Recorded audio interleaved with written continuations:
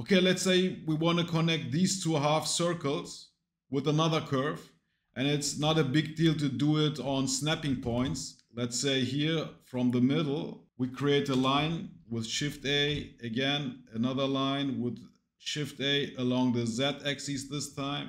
We hide these two, go to control point, look for bridge vertex, G1 continuity, bring back the rest, and there you go. That's not a big deal. To make it on a snapping point, you can do it even with a center circle. Create a center circle, change to vertical or horizontal by pressing V, and change the axis. I pressed X, trim this redundant stuff, and there you go. It's not a big deal, like I said, to do it on snapping points. How do we proceed on non-snapping points? Let's say your blueprint says that you have to have a connection on this point, so not on a snapping point. If we look from the top, the connection has to be straight. So we can't do any random stuff like this. So create a line like so and let's say another line here and you are in a position where randomly placing these lines and connecting them is not an option even though it is possible but you get then you get a skewed curve like this. So let's say this curve this connecting curve has to be straight also like this one. So if we take this guy from the top view duplicate it and bring it here somewhere where it is overlapping with this half circle and cut this redundant stuff with this half circle.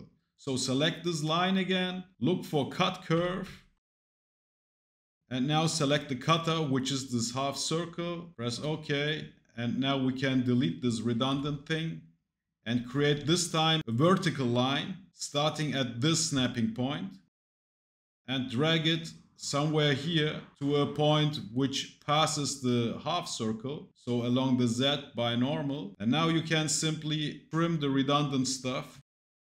And if we select these two lines the newly created one shift h isolate them in control point mode. Now we can again bridge vertex them. Look for bridge vertex. Again choose the continuity you like and bring back the rest. There you go. Let's repeat this process again, this time from right view, again from a non-snapping point on a random point.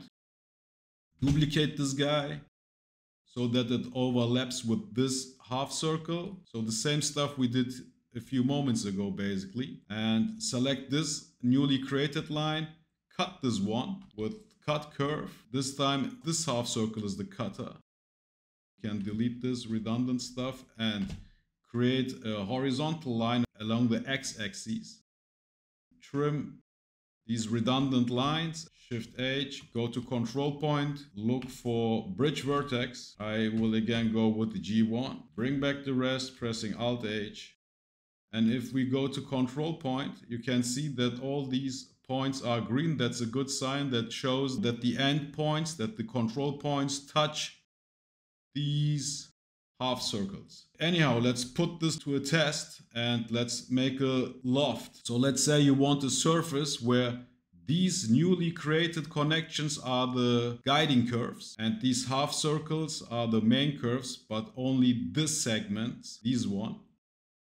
And let's create a surface selecting these two curves, pressing L for loft, select the guiding curves, these three, that looks okay, but uh, here is a bump. So again, let's resurface it this time without choosing this line in the middle. Select these two, loft, then select the first connection, then shift select the second connection as the guiding curve. I discussed it in another quick tip video of mine. I will link it. If we mirror this one, you will see that we get an edge and we don't want this edge. We want a smooth connection, obviously. So we have to do it in another way. So bring back the curves. We cannot use these curves for lofting if we want the surface which we are about to create to mirror to the other side without any creases. So we have to give plasticity some information on how this continuity should um, yeah, should continue. We have to create a sheet